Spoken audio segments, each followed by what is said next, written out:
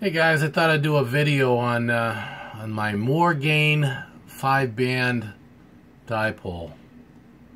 This is a fan dipole, and um, I've always been told you spread out the the legs on it, the uh, the outer edges of the fan dipole. But I found this one at a Hamfest, so I thought I would I would pick it up. Uh, it was thirty dollars from an old guy who's got Alzheimer's and no longer in the hobby. I felt bad for him, but um, anyway, the uh, the dipole's really really cool. I, I wanted to show you guys this. They're no longer in business. I'm trying to focus in here. Yeah, they're no longer in business, so don't pay any attention to the phone number. And I'm trying to get this thing to focus. Sorry, I'm using my phone here. But I'm going to scroll down slowly so you can see this stuff.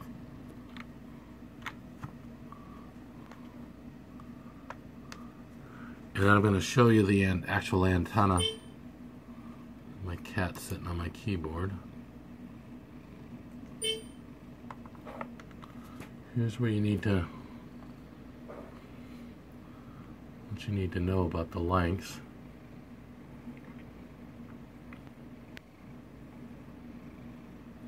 But see how it's got these little taps in there? I had to remove the 20 meter one. I don't know why. I, I might put it back on. I had to move them a little bit.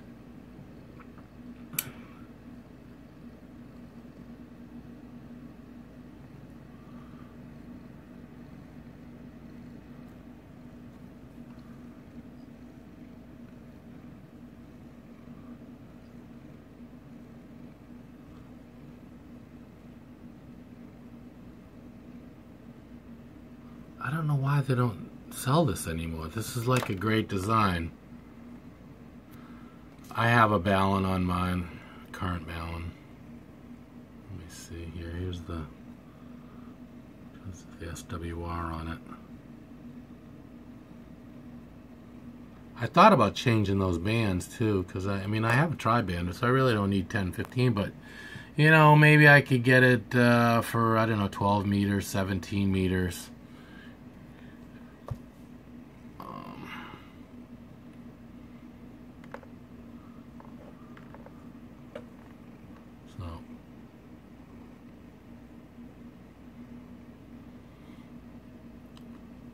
I think this was sold as uh, I don't I don't know if this guy made this thing from scratch. Let me go outside and actually show you the antenna now. And this is why I had it center point up on that branch. Oh my gosh, look at this guy right there. Anyway, uh, I had the center point on that tree there and the, the rope broke. So I got it down right now. We got a hurricane coming, so just as well be. You can see it. So these things broke. I tried to like glue them. But you could just use glue sticks to, as your separators. You know? Looks like the waves on the flag, you know? Kind of green here from all the oxidation. But this is the part. So on 40 meters, uh, I'm sorry, on 80 meters, it's a fan dipole, I mean a folded dipole. So it'll kind of go out here and then go to the end and all the way back. So hey, look, they're all at the central point, right?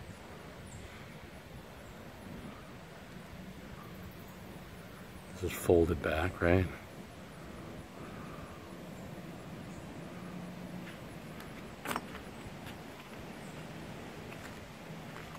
Okay, so there's my 10 meters ends. 15. 20 meters, right? Ends right there. And then I got three that go out.